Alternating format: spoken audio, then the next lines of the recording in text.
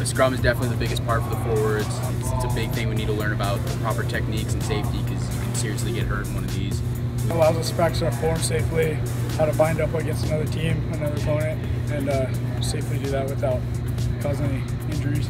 So we got the loose forwards here standing behind the scrum sled that we're asking for funding for. Um, a very important part of um, the rugby safety and the technique we have. Also, the other items, we're, one of the other items we're looking for uh, for funding and asking for is um, extra funds for taking charter buses instead of having uh, to take vans.